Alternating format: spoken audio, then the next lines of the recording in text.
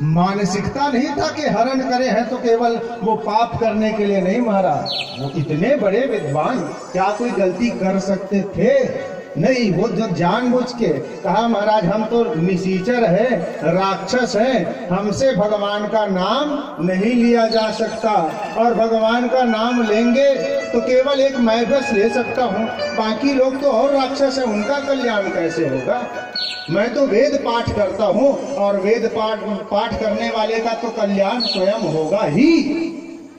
तो फिर हरण करने का मतलब तो कुल मिलाकर के रावण ने रावण के इतने बड़े वंशज थे परिवार थे वो।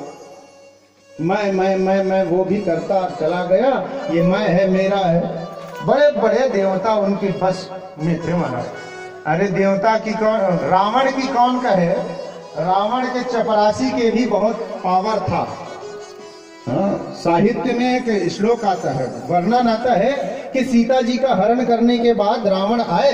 अशोक वाटिका में अशोक पेड़ के नीचे सीता जी को रख करके रावण चले गए शयन करने के लिए और सोने के लिए रावण जब गया तो दरवाजे पर था चपरासी।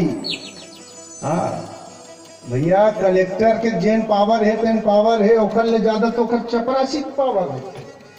ओकर पिए के पावर है बड़े बड़े काम करवाने है, पियल, पहली पिया।